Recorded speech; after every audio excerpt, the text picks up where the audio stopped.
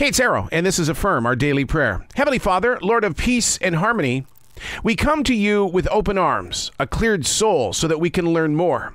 To be ready to grow, to build upon the platforms that which you need to reach an endless line of seekers. Place us in moments of learning the right way, because bad practicing creates dented ambitions. We walk with you because there's only one way. To be in your presence empowers the greater journey, which means a much larger outreach.